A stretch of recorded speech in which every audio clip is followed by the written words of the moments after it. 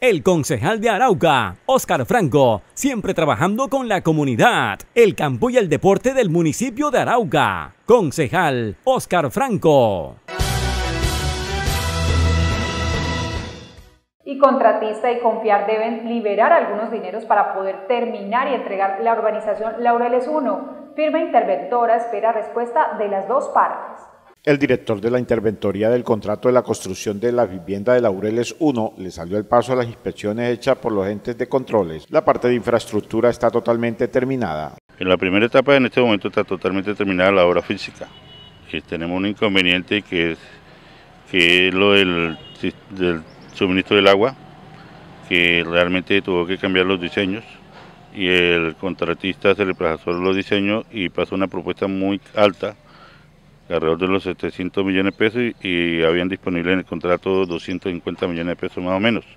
Eso obligó a que no llegamos a un acuerdo con el contratista y él renunció a hacer esa actividad. Para poder terminar esa actividad tienen que confiar, como son recursos públicos, tienen que liberar los recursos y volver a contratar. Los proyectos de vivienda del departamento de Arauca han tenido dificultades de diseños. Debo reconocer que todos estos proyectos, no solamente Laureles, la mayoría de proyectos del eh, han tenido dificultades de, diseño, de formulación.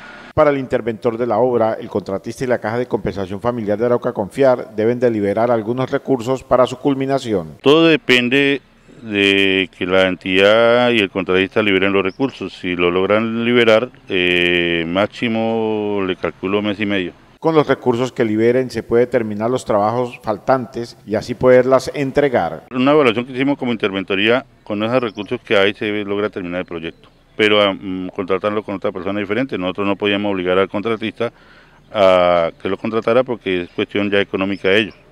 Y además porque era, era una modificación.